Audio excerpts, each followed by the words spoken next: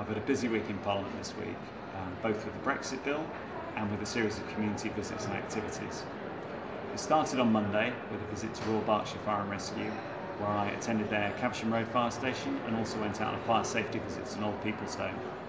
Our local fire brigade have suffered quite severe cuts, but they're still carrying out very important work to protect our community. I think it's my job as a new local MP to learn more about what they do, to understand them better, and to also offer them real support. Brexit bill came back to the Commons this week, and we had two days of very important debate on this high priority and fundamentally important issue. I spoke out in favour of us retaining a close relationship with the EU after Brexit and voted in favour of the Labour position to retain those close links that we all need to protect jobs and our economy. Thank you, Mr Speaker. I rise to speak in favour of the Labour frontbench amendment and the amendment on the customs union. Mr Speaker, the government is deeply divided and has no plan for the future, despite two years having passed since the referendum. Given the lack of clarity and the absence of any clear policy, I believe it's incumbent on this House to help find a sensible way forward.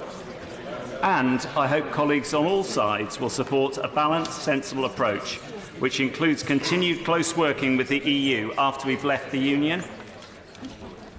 Whilst the majority voted to leave, no one in this country voted to be worse off, no one voted for instability in Northern Ireland, and no one voted for a shortage of NHS staff. A cliff edge hard Brexit would, I believe, be too far for most of those who wanted to leave, as well as for the majority of my constituents who voted to remain. Mr Speaker, after two years of indecision by the government, of distraction by hard Brexiteers, it is time for a sensible way forward. Mr Speaker, I would urge colleagues across the House to consider these issues carefully and to reflect on the very real concerns that many have about the direction in which we are currently heading.